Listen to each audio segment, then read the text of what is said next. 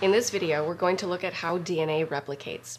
DNA replication takes place every single time we have a cell cycle and mitosis occurs. If we look at the cell cycle, there's a G1 phase where the cell is growing and doing normal cell functions, an S phase, which is where DNA replicates.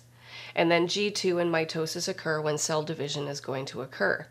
Not every cell has mitosis, like neurons and skeletal muscle cells, so they don't have a phase where they go through DNA replication.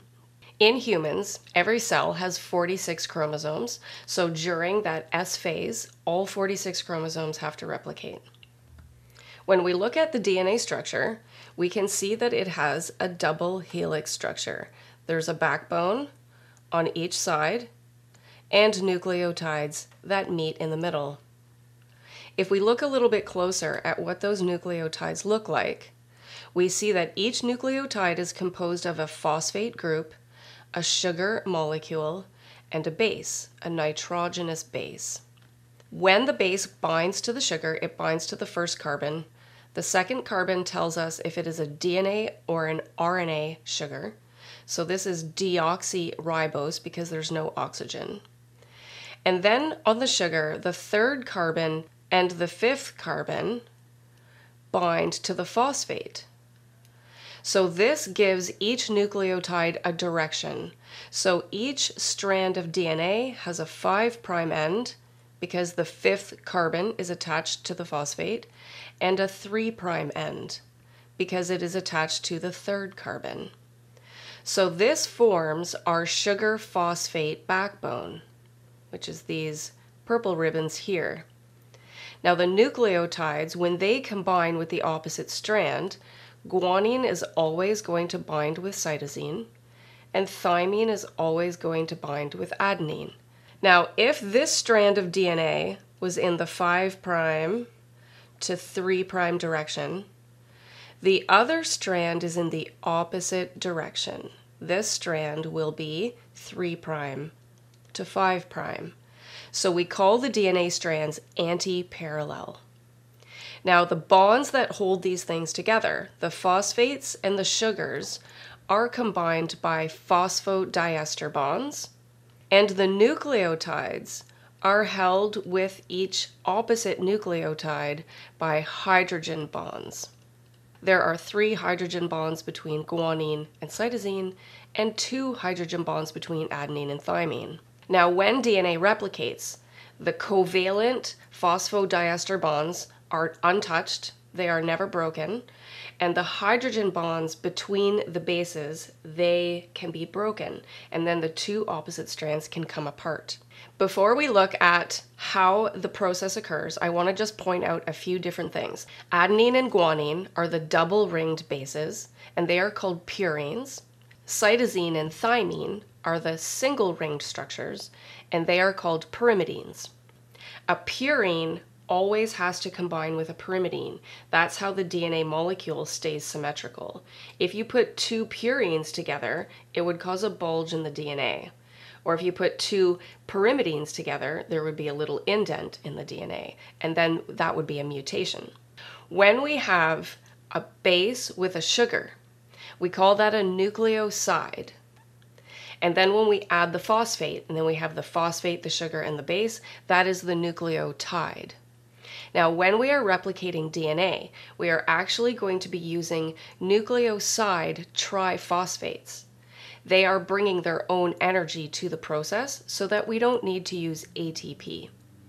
So when we bring in a nucleoside triphosphate, the last two phosphates are going to be removed and then the nucleotide will be put into place.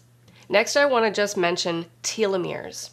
And our human eukaryotic chromosomes are linear, whereas bacteria have circular DNA, so it's slightly different. At the ends of our chromosomes, we have these little regions called telomeres. These are repeating sequences of nucleotides. And they are not genes that will code for proteins. These are non coding regions.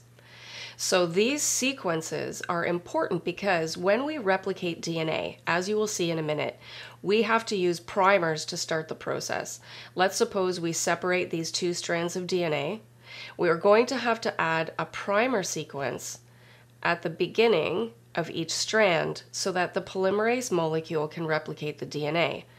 Now, in the middle of this long chromosome, we'll have multiple origins of replication, and the primers all throughout the length of the chromosome will be replaced with DNA, but the very, very first end piece won't. So that means every single time our cells replicate and our DNA replicates, the DNA will get a little bit shorter every single time it replicates. So telomeres shorten, and this is a normal process, and this is why we age. So cells have a lifespan, and organisms have a lifespan. Some cells prevent telomere shortening because they have an enzyme called telomerase, like our germ cells, the stem cells that are going to make eggs and sperm. Those never have shortening telomeres because then every time a new generation was born, they would have a shorter lifespan. But that isn't the case. If we took a magic drug of telomerase so that none of our cells ever aged, what do you think would happen? Think about how throughout our life our cells are always exposed to all kinds of toxic substances and metabolic byproducts and oxidation and all kinds of chemical reactions. And sometimes mistakes occur. If mistakes accumulate and those cells don't have a lifespan, eventually all of our cells would basically just become cancerous. So it is natural and normal for our telomeres to shorten, for our cells and our bodies to have a lifespan. When we replicate DNA, we know that adenines always combine with thymines and cytosines always combine with guanines. So our DNA replication process is called semi-conservative because we have two strands of DNA that will come apart and then new complementary nucleotides will be added to each of those strands. And then we have two new DNA molecules. So you should be able to figure out the complementary strand of any DNA molecule. If I gave you this sequence here, can you figure out what the complementary sequence is? Notice that there's a 3' end and a 5' end. The complementary strand has to be anti-parallel, and you combine A's with T's and C's with G's. So you can always figure out what the opposite strand of DNA is supposed to be. DNA replication begins at a specific site called the origin of replication. Eukaryotic chromosomes have multiple origins of replication. The first enzyme is going to be helicase, and this enzyme will break the hydrogen bonds between the bases on opposite strands.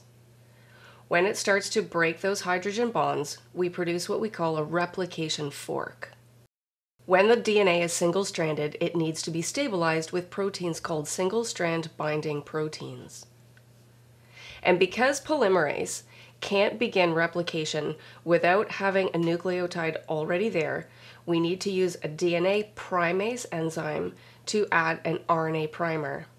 The RNA primer has a 5' end and a 3' end, just like the DNA. And then DNA polymerase can add new nucleotides, and it always combines A's with T's and C's with G's. Polymerase can only add nucleotides in the 5' to 3' direction on the strand that it is making. Because each of the strands of DNA are anti-parallel, the strands are in opposite directions. So this top strand is going to be called the leading strand, and the polymerase can continue replicating from that first primer, and it can just keep following the movement of the helicase. Whereas the opposite strand is called the lagging strand and it has to be replicated in segments called Okazaki fragments. So the primase will add a primer, and then the polymerase can add the nucleotides in the 5' to 3' direction, but it's moving in the opposite direction of the helicase. As the replication fork continues to progress, new primers need to be continually added to the lagging strand. And then the primers will be removed and replaced with DNA. And then an enzyme called ligase will come and seal the gaps, forming new phosphodiester bonds where the RNA primer was removed and replaced with DNA.